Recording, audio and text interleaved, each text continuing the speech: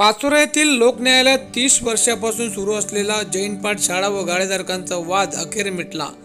आज दिनांक नऊ डिसेंबर दोन हजार तेवीस रोजी पाचोरा येथील गिरड रोडवरील न्यायालयात महाराष्ट्र विधी सेवा प्राधिकरण मुंबई व पाचोरा तालुका वकील संघ यांच्या संयुक्त विद्यमानाने राष्ट्रीय लोक न्यायालयाचे आयोजन करण्यात आले होते. यामध्ये तब्बल तीस वर्षापासून सुरू असलेला जैन पाठ शाळा व गाळेधारकांचा वाद हा मिटलेला असून आज रोजी पाचोऱ्यातील न्यायाधीशांच्या मार्गदर्शनाखाली राधेश्याम दायमा विरुद्ध जैन पाठशाळा यांच्यातील वाद हा आपसात संमतीने मिटलेला असून कायमचा विषय मार्गी लागला आहे. या केसविषयी पाचोऱ्यातील ज्येष्ठ वकील सुधाकर पाटील यांनी कामकाज पाहिले असून त्याचबरोबर यामध्ये आज पाचोरा येथील लोकन्यायालयात एकशे पस्तीस केसेसचा निपटारा होऊन जवळपास दोन कोटी रुपयांची वसुली देखील करण्यात आली आहे.